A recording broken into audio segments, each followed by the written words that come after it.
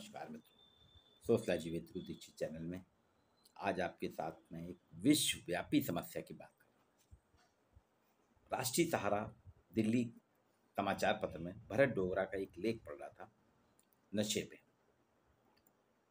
नशे और अभी तीन चार दिन पहले ही बजट आया है। हम देखें, बजट में सरकार नशीले पदार्थों पे, चाहे वो शराब हो, अल्कोहल हो या पान पराग, गुटके, मसाले या फिर बुरी सिगरेट। इस पे एक्साइज ड्यूटी या कस्टम ड्यूटी जितने भी प्रकार के टैक्स लग सकते हैं जिन जिन ड्यूटी से सबको बहुत बेतहासा बढ़ाती है।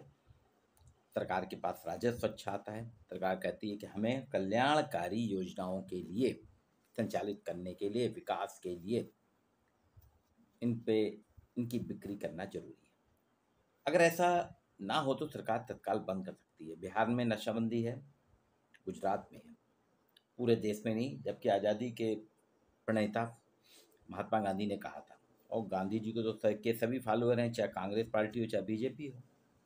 लेकिन गांधी जी के नशाबंदी के कोई फॉलोअर नहीं। अब नशा मुक्ति ही सामाजिक समस्या के निर्मूलन का सबसे बड़ा कारण है, सबसे बड़ा उपाय है, कारण क्योंकि आप देखें कि इतनी बेथाशा वृद्धि हो रही है हमारे यहाँ शराबखोरी गुटखा में कि हम सोच नहीं सकते। इनके साथ साथ अब विभिन्न प्रकार के ड्रग्स भी चलन में आ गए 2000 के पहले शराब को स्वीकार नहीं किया जाता था। सामाजिक स्वीकारोक्ति नहीं थी। लेकिन 2000 के बाद तो अब सामाजिक स्वीकारोक्ति हो गई है। एक पीढ़ी से दूसरी पीढ़ी को हस्तांतरित हो रही है। एक ही डाइनिंग टेबल में पूरी फैमिली बैठती है, खाने के साथ ड्रिंक भी लेती है। ये बड़े बड़े शहरों के साथ साथ मध्यम ए और बी ग्रेड के शहरों में आम बात हो गई। अब शराब का किसी जाति विशेष से धर्म विशेष संबंध नहीं रहा। सभी जाति वर्ग में शादी होती है, शादी पार्टी होती है, बर्थडे पार्टी होती है तो उसके लिए कॉकटेल पार्टी होती ही है। ये सामाजिक स्वीकारोक्ति है कि शराब में। सिगरेट भी पहले लोग छुप के पीते थे। घर के बाहर जाके पीते थे, अब लेकिन घर में ही पी लेते हैं। उसमें कोई ज़्यादा वो नहीं मुझे अच्छे से याद है कि मैंने जब रिसर्च की थी नब्बे में, रानी दुर्गावती विश्वविद्यालय के विद्यार्थियों में नशे, नशीले पदार्थों का सेवन, एक समाजशास्त्री अध्ययन। इसके लिए जब मैं डेटा इकट्ठा करता था, लोगों को जब बताता था लोग आप मुझसे दूर होते थे। उनको लगता था ये भी कहीं एडिक्ट तो नहीं है। इसका कोई है तो नहीं, इसलिए कर रहा है। तो मुझको बहुत, कई बार मुझको अपना टॉपिक छुपाना पड़ता था। लेकिन आजकल तो आप देखिए, क्या लड़के, क्या लड़कियाँ वाइन शॉप में जाते हैं। बिना चोरी छुपे, कोई मुँह नहीं ढकते, कुछ नहीं करते। शराब की बोतल लेते हैं, बैठ जाते हैं।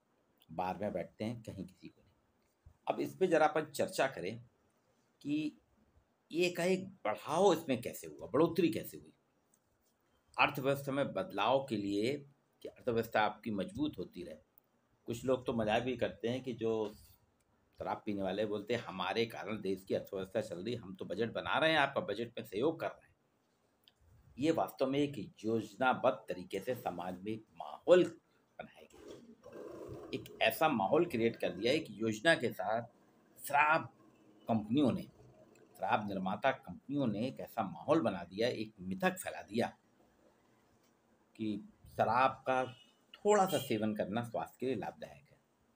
और कहीं किसी डॉक्टर ने नहीं कहा, लेकिन कहा कि डॉक्टर कहते हैं कि कभी कभी ले लेना चाहिए, ठंड में तो ले लेना चाहिए, बरसात में ले लेना चाहिए।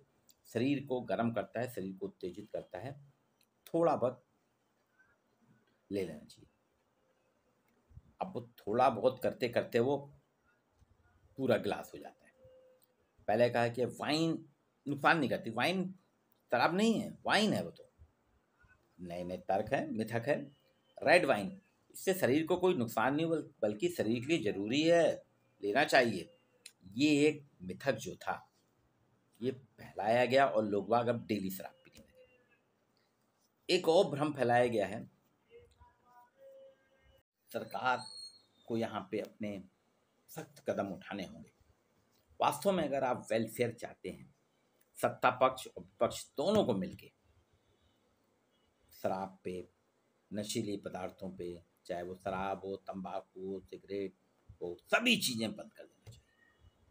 आप देखिए, एक बार देश में अगर पूर्ण नशाबंदी हो जाएगी तो सड़क दुर्घटनाएँ कम हो जाएँगी, घरेलू हिंसा कम हो जाएगी आए दिन जो झगड़े होते हैं, वो बंद हो जाएँगे। अभी एक महीने पहले पुणे में हुआ था ना, पोर्शे कार से। वो शराबखोरी का ही परिणाम था कि दो इंजीनियर स्पॉट डेथ हो गई।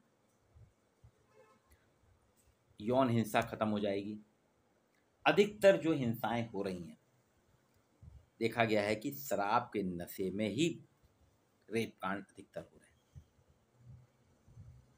तो सरकार को यहाँ पे मोदी जी, प्रधानमंत्री नरेंद्र मोदी जी से आग्रह है, निवेदन है करबद्ध प्रार्थना है कि पंद्रह अगस्त को राष्ट्रीय दिवस जो है, लाल किले की प्राचीर से आप शराबबंदी की घोषणा कीजिए।